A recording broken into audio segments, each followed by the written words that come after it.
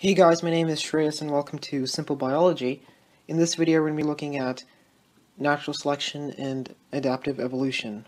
We briefly discussed what adaptive evolution was in the previous video. Just as a review, adaptive evolution is evolution which makes an organism better suited for its environment. Okay, so let's get into it. So in natural selection there's a mix of chance and sorting. So natural selection can, by chance, create a new genetic variation. That's the chance part in a mutation. But then, once after the chance, which is the new genetic variation, natural selection acts and it uh, sorts some alleles over others. So therefore, the outcome of natural selection is not random. Natural selection is focused. And it leads to adaptive evolution, which again is when an organism becomes more suited for its environment. You can learn about that in the previous video.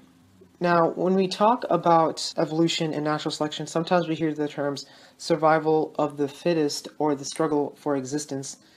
However, sometimes this can be taken the wrong way. You know, the organisms themselves are not like fighting over each other and not physically trying to kill each other in order to become the one that can reproduce. It's not direct competition between the individuals even though the sometimes organisms compete for mating privileges, sometimes you know you see lions fighting for each other to get the right to mate the female lion. Reproductive success is determined by more than just like these physical battles. We're going to be talking about these mating privileges later in this video, but that's not really what makes an organism the best in order to reproduce. It's more on the traits that the organism has and how well it matches with its environment. The term relative fitness describes how much an individual contributes to the gene pool of the next generation in comparison to the contributions of other individuals. So some the organisms which are going to uh, reproduce more and more fitted for their environment have a greater relative fitness than the ones that don't have the traits which are suited for the environment and the ones that can't won't reproduce as much. The three types of selection. So when you talk about natural selection, natural selection works in about three ways, okay? Disrupt, directional selection, disruptive selection, and stabilizing selection. So directional selection is when a condition favors an extreme phenotypic range. So basically what that's doing is taking what the population, let's say, let's say it's uh, brown, and selecting white. So pushing everything to one side, making making the phenotype focus way to one side. Okay, it's common when there's environmental changes or habitat change. Disruptive selection is when conditions favor both extreme phenotypes over the average phenotype. So let's say this was brown, let's say this was white, and this was black. So disruptive selection would select the very extreme, so that would be black and white uh, over brown. So it pushes them to the two extreme phenotypes. Stabilizing selection is when conditions favor the average but act against the extreme phenotype. So that means shifting it towards the middle. So that means if you have black and white, like in the previous example, everything gets shifted towards brown. And this reduces the amount of variance in an environment because as you can see, we have a wide range of um, alleles here and now we're getting everything pushed to one so the variance, the variations, uh, sorry, is are being deleted from the population. Now, natural selection increases the frequency of alleles that allow for survival and reproduction. This is adaptive evolution. And natural selection can therefore create an increase in adaptations. But what about genetic drift and gene flow? We talked about this in the previous video, go check this out. Genetic drift can cause an allele to increase and decrease, and gene flow can introduce both bad and good alleles. But this is an important point to take from the slide.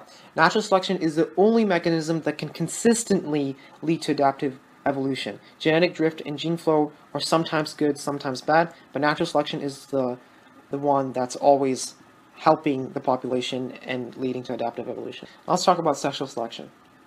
Darwin was the first scientist to explore the idea of sexual selection. Sexual selection is a type of natural selection, actually, in which individuals with certain inherited traits are more likely to mate than other individuals. That was kind of like what we talked in the beginning of the video with the lions competing for to mate with a female line. So a sex sexual selection can cause many sexual dimorphisms, And what that is is differences in secondary sexual characteristics between males and females of the same species. So that's basically very wide changes differences in a, male and female. For example, in human beings, if you look, this is just a common trait, like men have short hair, women always have long hair, things like that. So th- that's a sexual dimorphism. Um, these can vary in organisms between size, the color, the behavior, and the ornamentation, basically how the uh, organism looks. So there's two types of sexual selection intrasexual selection and intersexual selection. So let's first talk about intrasexual um, selection. It's a mouthful. so intrasexual selection is sexual selection within the same sex. So it occurs when individuals from one sex compete with the same sex for individuals of the opposite women, and it can both occur in the male sex and the female sex. So that would be basically like the example we talked about with the lions, the lions competing with each other, the male lions competing with each other in order to get the right to mate with the female lion. That's intersexual selection. Intersexual selection is when members of gender make mating choices based off specific characteristics of the opposite gender. So that's called mate choice. So females often choose on males' behavior or appearance. This happens even in human beings, you know. So like there's that girl that everyone wants in high school. That girl is probably going to go and pick the hot, good looking, smart guy over the one that doesn't care for his hygiene. And that's an example of intersexual selection. Okay, well, that's it for now. Natural selection, adaptive evolution, and sexual selection are as simple as that.